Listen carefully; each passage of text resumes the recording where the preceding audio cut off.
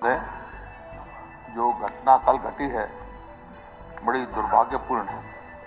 सबसे पहले तो परिवार के संवेदना प्रकट करता हूँ, लेकिन आज ऐसी परिस्थिति हरियाणा में हुई है।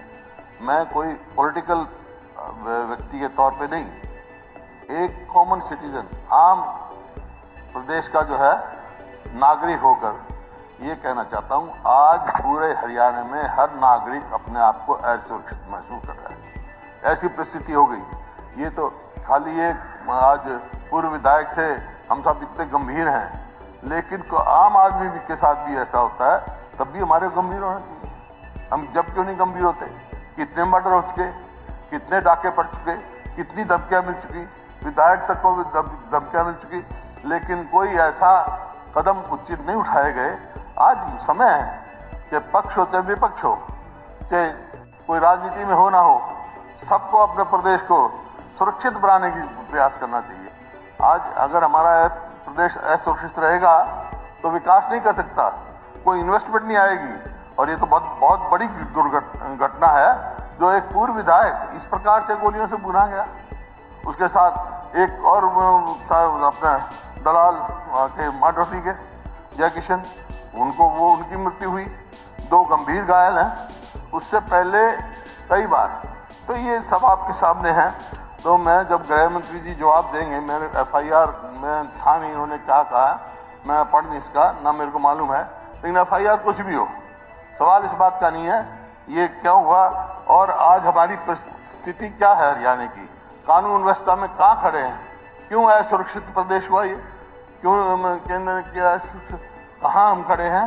ये आज मैं गृह मंत्री से कहूँगा कि एनसीआर की जो रिपोर्ट है, किस अपराध में किस नंबर पे पहुँचे हुए हैं हम, ये स्वयं जवाब में बताएँ और फिर सोचें, विचार करें कि क्या कदम उठाएँगे। ये बताएँ हमारे क्या कदम उठाओगे, क्या सुरक्षा करोगे। और इसमें कोई दोहरा नहीं अब सवाल इस बात का है, एक किसान की मृत्यु हुई, उसका पोस्टमार्टम नहीं हुआ। लेकिन मैं तो हैरान इस बात पे हूँ। वो कहते हैं, भाई, पंजाब में हुई और हरियाणा का एसपी कहते हैं तो हरियाणा की जुडिक्शन में हुई। जुडिक्शन किसकी है? ये क्या मामला हो रहा है? कानून व्यवस्था कहाँ जा रही है? इतनी सुस्त क्यों पुलिस हो रही है हमारी? जुडिक्शन का भी चार दिन के बाद बयान आए और इस किस्म का माहौल प्रदेश में हो कि हर व्यक्ति अपने आप को असुरक्षित महसूस करे।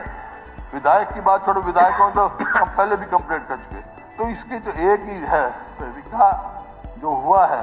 ये केवल एक पूर्व विधायक के लिए नहीं, ये पूरे हरियाणा के हित में है कि जाँच सीबीआई द्वारा कराई जाए और हाई कोर्ट की जज की देख रेख में किया जाए, क्योंकि ये सवाल उठ गए कई।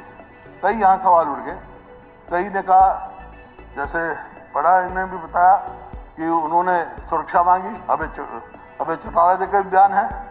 आज अखबार में सुरक्षा मानी, मांगी एसपी से मांगी चीफ मिनिस्टर को सूचित किया गया आईजी को किया गया, जिस जिस को भी किया तो सवाल इस बात का कौन इसकी जाँच करेगा?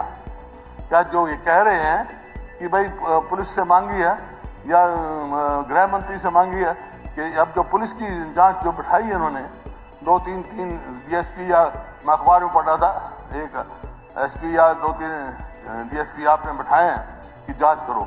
वो नहीं है। वो तो जाँच होती रहेगी डिपार्टमेंटल लेकिन जाँच सीबीआई द्वारा इस बात की उनकी आया।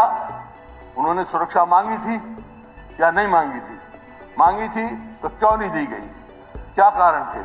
ये इस बात की होनी जाँच इसी वास्ते मांग कर रहे हैं कि इससे सीबीआई की इंक्वायरी से नीचे हाई कोर्ट के जज के देख रेख से नीचे हमारे कोई बात मंजूर नहीं होगी।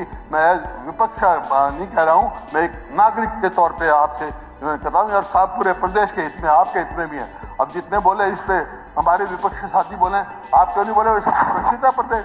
जो बैठे हमारे सामने, तुम्हारे तुम्हारे को भी अपने विचार रखने चाहिए। ये प्रजातंत्र है, डेमोक्रेसी है। चुप बैठे, ऐसे नहीं काम चलेगा भाई। सबको एक होकर इन चीज़ों से लड़ना पड़ेगा। जब हमारा प्रदेश आगे जाएगा, अध्यक्ष आखिर में यही है कि सीबीआई की इंक्वायरी हाई कोर्ट के जज की देखरेख के से कम हमारे को मंजूर नहीं होगा। अगर आप ये वीडियो YouTube पर देख रहे हैं तो हमारे चैनल को सब्सक्राइब करें और बेल आइकन को दबाना ना भूलें। अगर आप Facebook पर यह वीडियो देख रहे हैं तो हमारे पेज को लाइक करें।